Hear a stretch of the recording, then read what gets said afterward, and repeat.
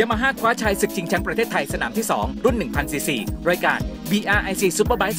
2016 ผ่านไปเรียบร้อยเมื่อสุดสัปดาห์ที่ผ่านมาสำหรับการแข่งขันจักรยานยนต์ทางเรียบชิงแชมป์ประเทศไทย รายการ BRIC Superbike 2016 สนาม 2 ที่สนามช้าง International Circuit จังหวัดบุรีรัมย์ผลปรากฏทัพนักบิดสังกัด Yamaha Riders Club Racing Team โชว์ฟอร์มสุดแกร่งครองเจ้าความเร็วบนแทร็กระดับโลก โดยอภิวัฒน์ วงศ์ธนานนท์ควงคู่ teammate อนุชานาคเจริญศรีควบยามาฮ่า YZF R1 คว้าอันดับ 1 และ 3 รุ่น Superbike 1,000ซีซีส่วนอนุภาพสามูล และอานนท์สังวานก็สามารถพายามาฮ่า YZF R1 คว้าอันดับ 1 และ 2 รุ่น Superstock 1,000ซีซีได้สำเร็จ รวมถึงประวัติยานอาวุธ ก็สามารถคว้าอันดับที่ 3 ได้ในรุ่น Supersport 600ซีซี ด้วย Yamaha YZF R6 ซึ่งจากผลงานครั้งนี้ส่งผลให้การแข่งขันคลาส 1,000cc ทั้ง 2 รุ่น ทัพนักบิดสังกัด Yamaha ยังคงเป็นผู้นำคะแนนสะสมประจำปี 2016 ต่อไป